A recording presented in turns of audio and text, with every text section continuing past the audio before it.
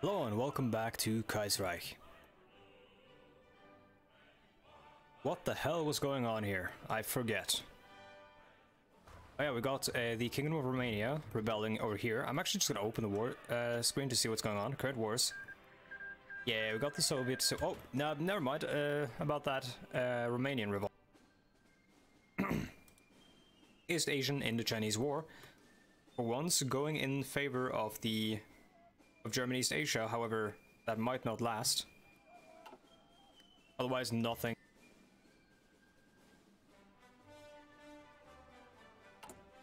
Let's see. We've got 105 or 106 political power. We could replace our ministers because we will, of course, have no elections. This is a fascist or a pseudo-fascist um, government. I'm not quite sure how it manifests in uh, the Kaiserreich timeline, but Lapuan Liike was um, kind of um, it was kind of like a, cl a clerical fascism, which uh, in many oh boy, which in many ways uh, is relating or it's kind of like um, it's Christian fascism kind of, or like in many ways related to the uh, yep yep mm-hmm the clerical fascism in um, or clerical pseudo fascism with uh, what's his face, uh, Francisco Franco,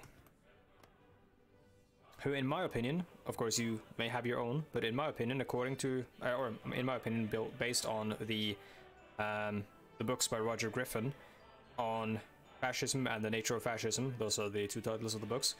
I don't think Francisco Franco is fascist, but I think there were fascists in his government. And he did ally with the fascists. Anyways, uh, the Second American Civil War. Those not, yeah, I, I, mean, we've seen this. Those not in the know, uh, it might seem like a crisis in the United States came out of nowhere.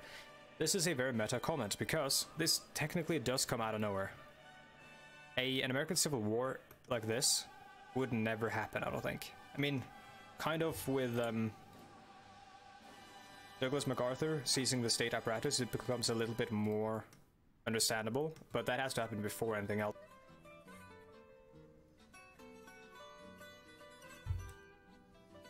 Like nothing short of a military coup would uh, cause a um, an American civil war in this period, I don't think. But this is obviously a concession that is made for gameplay reasons so that the American player actually has something.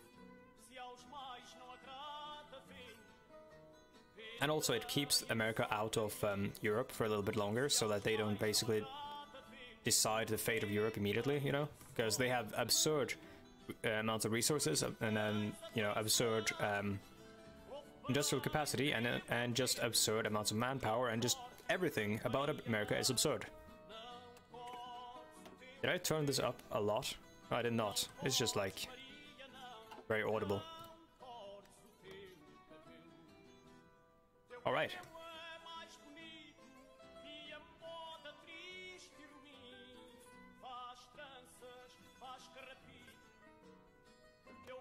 Oh, we got uh, Pacific States uh, militias rising up uh, against MacArthur.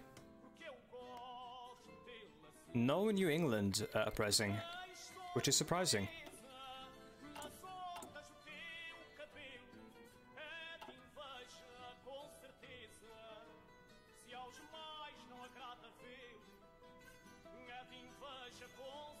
I'm very excited to see how this goes because in pretty much every single game I play, the Combined Syndicates of America just stomps everything. Would be nice to have uh, Huey along, or even something radical like uh, Mr. Pelley, who I, you know, obviously I, I despise for obvious reasons, but um, with uh, us being kind of uh, shady individuals, it would be to our benefit. Rise of the Mongol Empire. Can't get any more insane than that bullshit, yeah. Uh, news and reliable sources of them are scarce in the vast plains of Mongolia, but it has recently come to light that the Mad Baron of Mongolia, Roman Ungern von Sternberg, has risen to new heights and declared himself to be the successor to Genghis Khan. I pronounce it Genghis Khan because that is kind of like, or Genghis Khan, and more clo closely resembling the actual Mongolian translation. You, in the Anglosphere, would probably call it Genghis Khan. So Genghis Khan. In Norway, we call him Genghis Khan. Uh, appropriately named Ungern Khan. Holy shit, dude. Oh, I love this bullshit here. So this hasn't been changed, but he's meant to be called Ungern Khan, not Genghis Khan II, because I think Ungern Khan is better. Uh, Alstom is done. Uh, the Peru-Bolivian Confederation has been restored. Glorious hats. Uh, it appears that an old idea has been reborn in South America. The original confederation between Peru and Bolivia, viewed by its many uh, regional enemies as a potential threat, was torn asunder by victorious Chile after the Battle of Yung uh, Yungay in 1939. Still, this new confederation could, unlike its predecessor, prove able to sustain itself in these unstable times in South America and the wider world. Observers both overseas and domestic have noted, however, that there are a number of key issues that must be worked out between La Paz and Lima, before this new pol polity can truly be called a united nation. Alright.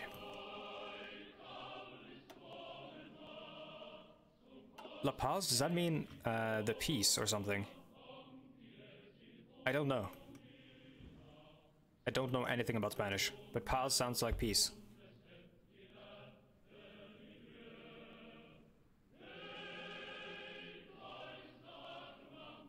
So which which one uh, removes the black uh, Black Monday bullshit?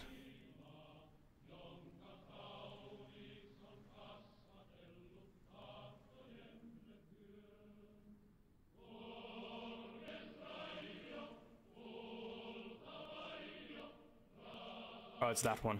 Yeah, we just have to keep going this way.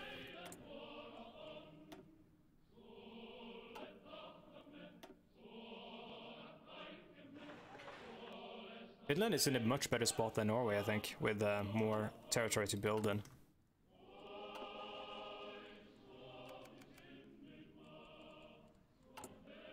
Do we actually need this? Yeah, we do need this. We need uh, more military factories. Want to have at least four before we start constructing the forts against uh, Russia. So someone did mention I need to check the uh, the border to see that I don't actually have to defend that many provinces. Well, I do need to defend two provinces here. And then need to defend, uh, I, I, think I did mention, like they mentioned the lakes as a reason that I might not have to defend that many provinces, but I think I mentioned that in the video as well. Uh, I do have to uh, defend two there, uh, four there, and this one, I think, right? Or is that a lake that divides it?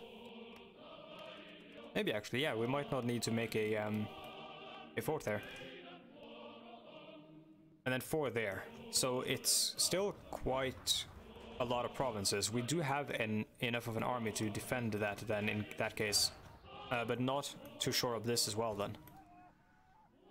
That's kind of a problem.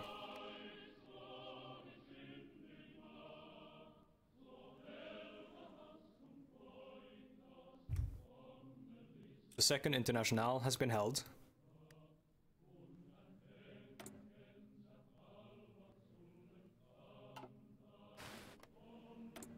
With, of course, the Norwegians part of it. Oh, now they're doing, uh, yeah, forcing King Haakon to abdicate.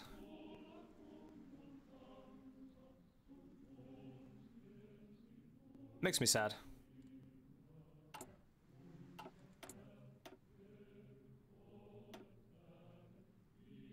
I mean, he is treated basically as a, like he's venerated as a, a national hero in Norway.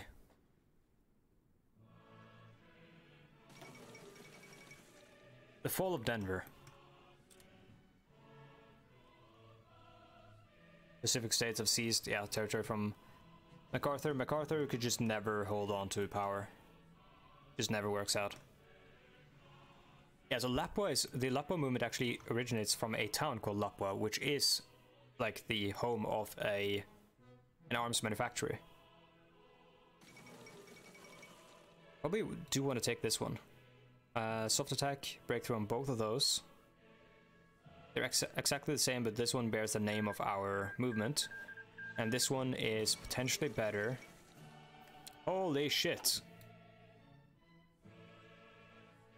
The army takes power in the Philippines.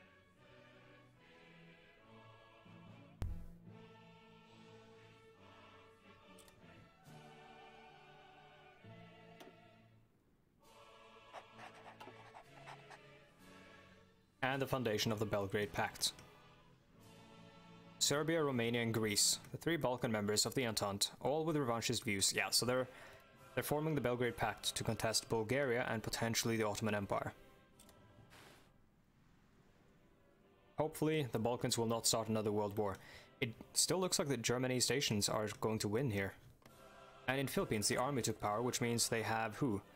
Basilio uh, something Valdez. Basilio Javier Valdez, maybe? Doesn't say. Juan? Who knows?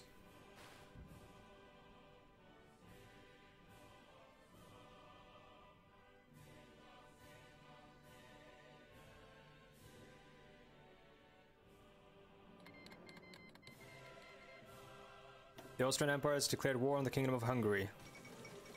Not that uncommon. The 1937 Dutch elections. What have they led to this time? The VDB. Doesn't say what they're actually called, like full name. Social liberals, though. They are an extreme minority.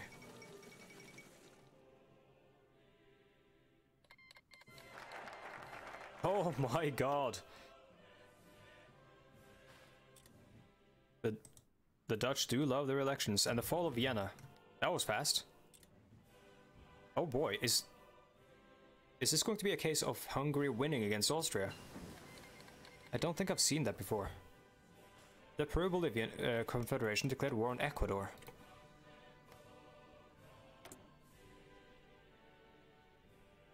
My dude, looks airbrushed to a to to hell. Like this man. This is his Instagram photo. Isidro Ayo, uh, Ayora. Isidro, you don't have to do this to your photos. You look beautiful just the way you are.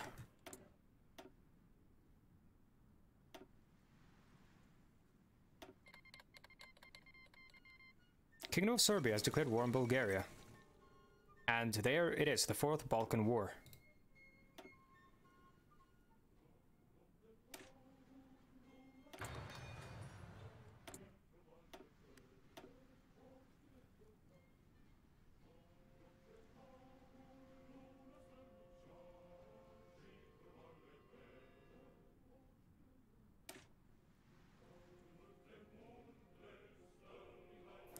We're gonna want um, hydrophones think. Wait, headphones? Uh, hold on a second. They only help... According to the description at least, they only help the, um...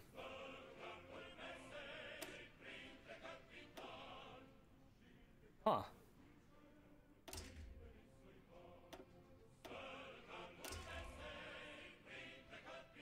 Ability to detect submarines. I mean, you don't need that.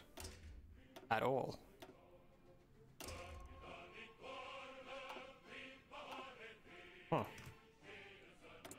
So uh, a hydrophone is actually an essential part of um, of a submarine because you use it to passively detect enemy ships that are, are uh, passing over you or detect shipping at range. It's a good way of like actually getting to know what's going on around you without actually alerting the enemy to your presence. So for example, if you're being pursued by a destroyer, you want to dive deep and then you want to get on the hydrophone and you want to listen. What you uh, can do in a submarine is uh, actually listen on the hydrophone because it's it's quite um, sensitive. Listen for if the waters are calm, that is, for the destroyer when you hear them drop the depth charges, and in that case, when you hear that, fucking slam uh, the throttle and dodge and weave. Sometimes the depth charge exploding will be enough to cover the sound of your engine, so you can potentially move a bit and get out of their way.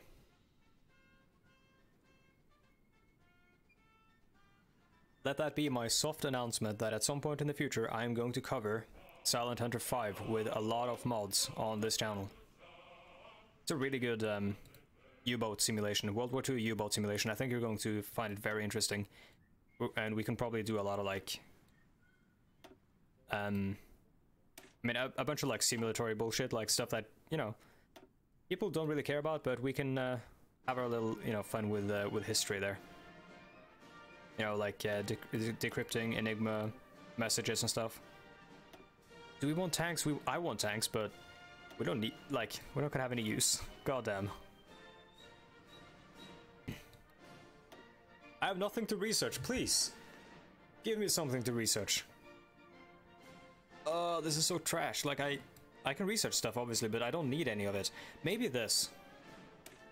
Yeah, fuck it. We want uh, synthetic oil experiments.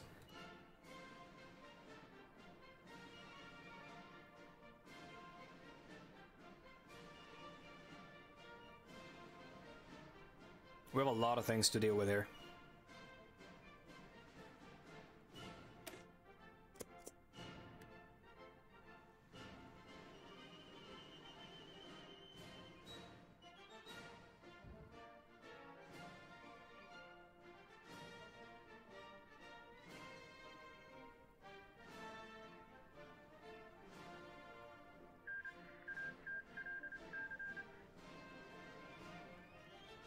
Nicaragua and the Socialist Republic of Honduras have signed a peace deal.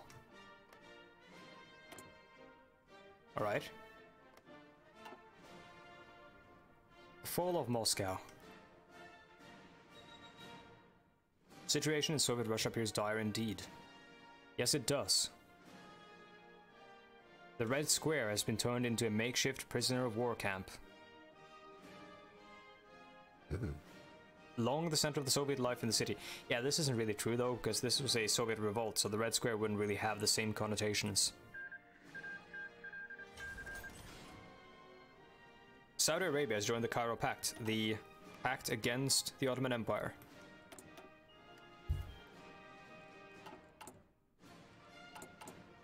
So we've got one, uh, we've got a couple more of these to go.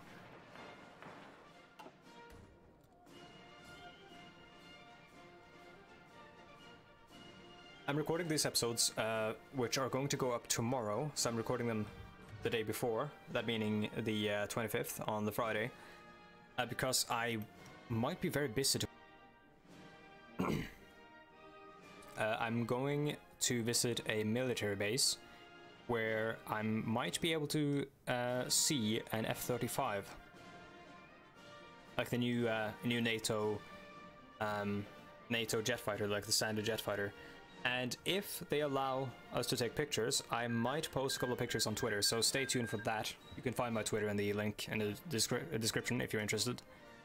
Mexico has joined the Third International, but yeah, I might uh, post some uh, pictures to Twitter if I get some cool ones. They, they're not only going to have the F-35 there, they're also going to have a P-51, and uh, possibly a Spitfire, and a they're going to have Vampires, like the uh, the British planes that were not really employed in World War II but were designed. Uh, they're very strange. They're like I think they're heavy fighters. They have um, uh, they have like uh, this conjoined tail uh, uh, section, which is kind of cool. They look like something out of Crimson Skies, kind of uh, that old game. So yeah, there's going to be a lot of old planes there, which I might be able to uh, snap a couple of pictures of. If so, they'll be on, on the Twitter, if they're good.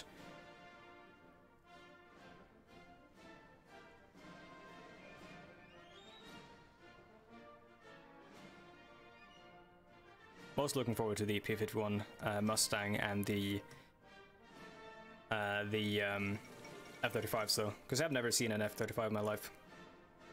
Savoyard crisis resolved. Syndicalism spreads. And syndicalism spreads to Burma as well.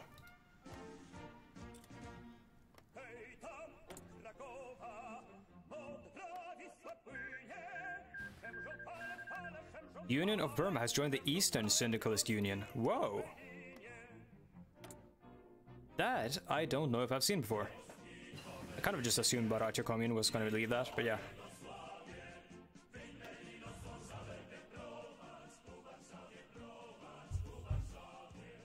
Song about Berlin.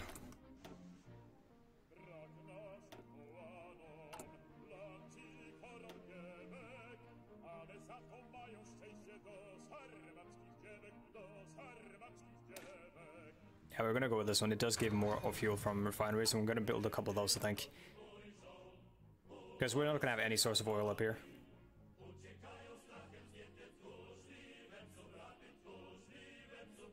And being a national populist, you generally don't have any natural allies.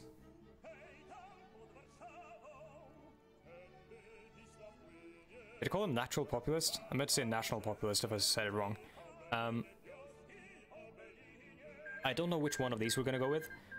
Turkestan Khan declared war on the Alash Orda. It might be...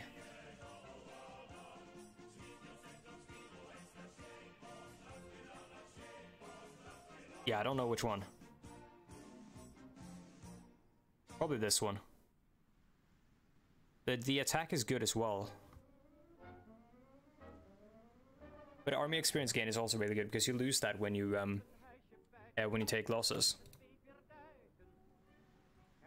And then, you know, the losses sort of compound themselves. Like, if you lose a lot of men, then you go to green for the uh, army experience, then you're going to take even more losses.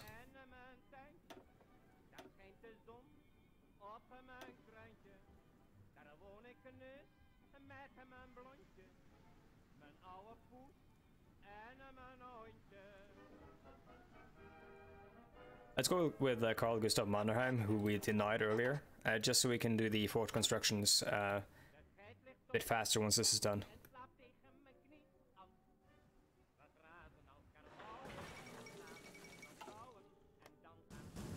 Totalists in the Bharatiya commune.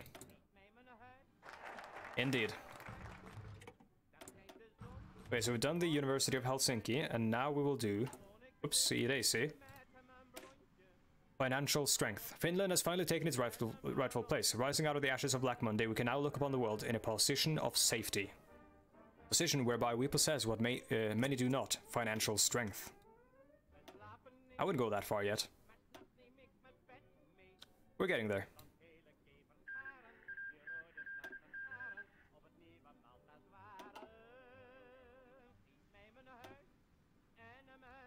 Tripolitania has joined the Cairo Pact.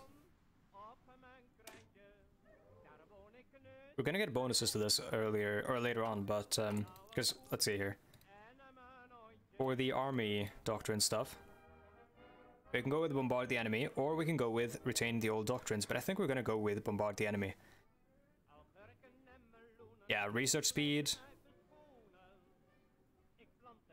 We can get arms from Germany. Yeah, if we um, We have to work with German officers if we go this way, and we can't really do that. Yeah, we can't even do that. This, so yeah, we're gonna go that that one anyway. So uh, we'll uh, do this because we're gonna get a bonus to that anyways later on, so we can do the other one faster.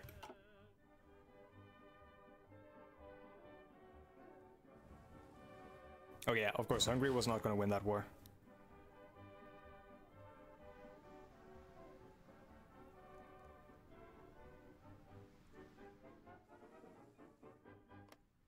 An uprising up here by syndicalist militias.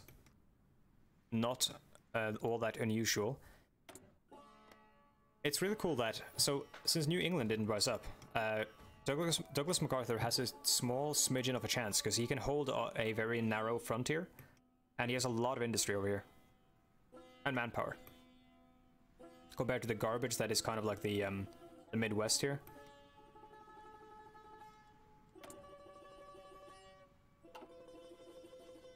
Don't hope. I hope nobody's going to be offended by me saying that, but uh, I wouldn't worry about it. Nobody lives there anyway, so nobody's going to watch it and be offended.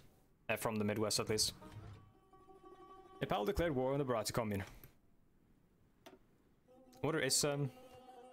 Is this part of the Midwest? I hope not, because people do live here.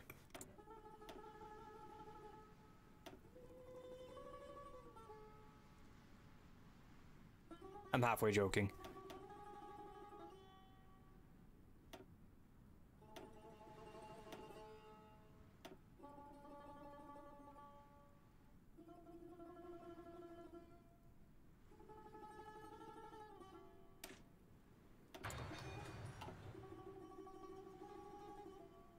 I never like doing ahead of time penalty stuff, but we don't really need anything else, so I might as well.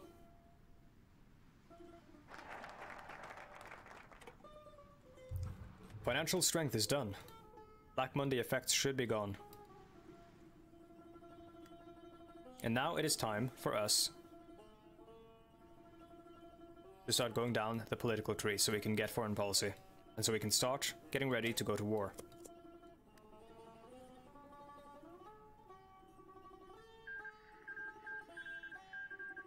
The Dominion of India took three states. So we are uh, approaching the end of the video, so I'm going to do a quick casualty report. So this war has been going on for not too long, but not enough losses for me to be happy. I want a lot of losses for the Americans in general, because the Americans, no matter what side they're on, are scary. Oh my god. The Qing have taken 449,000 against the uh, Shangxing Jianguo. Uh, they're 70k. What the fuck? He's fighting hard. Brotherhood, please be my brother. I want to have these national populists on my side. Um, Second Russian Civil War is almost over with a million losses from uh, the Soviets, 700,000 for the Republic. Bulgaria, 224,000 in the Serbian-Bulgarian War, the Belgrade Pact War. Was there not a third part of this war? There was, wasn't there? Or part of this pact. It was Romania. Wasn't it? Guess they are a tentative sort of um, associate of the Alliance. Alright, well, that's about it. Uh, so, at the closing of this video, since we are ending a little bit early, because the casualty report did take a lot uh, less time than I thought it would, uh, I'm again just going to remind you that um, on my Twitter, tomorrow, meaning today when this video goes up, basically, you might see some cool pictures of some old-ass airplanes and some interesting World War II and Cold War World uh, Cold War aero like aeronautics history and stuff. Uh, also, uh, you will find in the description down below a link to my Patreon, a Humble Bundle uh, associate or partner uh, referral link where you could buy Hearts 4 or its expansion. You can use it yourself or link, it to a friend or whatever, uh, and it will support the channel at no extra cost to you. It'll also support a charity. I've chosen Wikipedia as the charity to support, but you can change it to whatever you want. I am a very big fan of what Wikipedia does, and I think it's very important, especially uh, for internet debates, which a lot of people get into. And without it, we would be lost in conjecture. Other than that, um, for the future, obviously these, you know, these videos are going to keep going, but I have got a bunch of stuff lined up, which you might start seeing in the near future, uh, that isn't Hearts of Iron 4, which I think some of you might like. Uh, but for Hearts of Iron 4 itself, I'm going to need some help uh, so if you've watched uh, to the end of this video, you are probably one of the people who are more engaged in the content, so I'm going to need some help with figuring out which nation I'm going to be playing later on, after finishing either Norway or Finland. I'm not going to need the answer right now, but I want you to think about it. And when the time comes, I'm probably going to make a poll on Twitter, because that's kind of a nice way, or nice place to do it.